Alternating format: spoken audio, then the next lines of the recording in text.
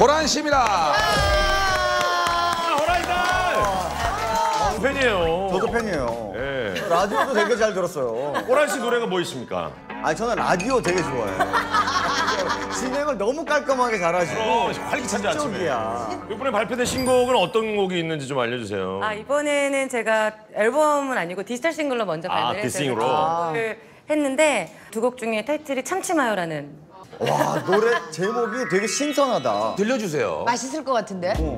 그대 나를 참지 마요 돌아서지 말아요 난 뽀득뽀득 그댈 기다리고 있어요 그대 나를 참지 마요 그대 네 아 그럴 수 있어 신곡이라. 신곡이니까. 아 신곡이라 어제 그럴 수 있어요. 나왔어요 아, 내용은 참치마요인데, 어, 근데 제목은 참치마요군요. 네, 뭐 계속 참지 마요, 참지 마요, 참지 마요 나오니까 발음이 참지 마요로 들려서 그냥 어. 재밌는 것 같아서. 어. 재밌어요. 어, 재밌- 발상이 좋네요. 우리 호란 씨가 참 이게 목소리도 섹시하고 네. 노래로서 지금은 다 알려진 가수로서 알려져 있잖아요. 네네. 근데 학교 다닐 때 공부를 그렇게 잘해. 그래, 명문, 명문대 그래 나오셨잖아. 다 알잖아. 이미. 일찌감치 글을 깨우쳤다는 얘기가 있던데. 저희 어머니의 주장으로는 네. 두돌반때 부돌반? 가르치지 않았는데 네.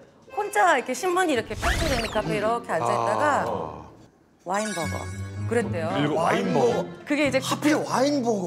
와인 그 와인 단어 중에 와인버거. 와인버거. 그러니까 그, 그 와인버거 그때 그 무슨 정치인 이름이었나 아, 봐요. 그렇죠. 사람 이름. 그게 이제 헤드라인으로 이렇게 나와 있는. 당신 햄버거 중에 하나인 줄 알았지? 아유, 진짜. 아, 주커 먹어도 있듯이 이제 버거 집안이 괜찮아요. 같은 버거야. 또 어머니의 주장으로는 어? 제가 다섯 살 때 처음으로 시를 썼대요. 시를 썼. 설마 때. 기적이 중심? 차고요? 아니면 떼고요? 다섯 살 때 있잖아요. 다섯 살 때가 참 지금도 차고 있다는 얘기가 있어요. 왜 저러니? 뗐어. 뗐어. 아니 근데 우리 호란 씨 보면은 그냥 다 똑 부러지잖아요. 말도 잘하고 그럼. 성격도 좋고. 그런데 무서워 다가가기가. 학창 시절에 왕따였다는 소리 를 들었어요. 사실 고등학교 때까지는 아무것도 못하고 지내 는 그렇죠, 경우가 많잖아요. 막. 뭐 이렇게 막 입술에 빨간 거라도 바르고 싶어도 막 야단을 맞고 그러니까 이제 대학교 갔을 때 하고 싶은 걸 다 하고 싶었던 거예요. 그래서 학교도 막 깃털 드레스 막 이런 거.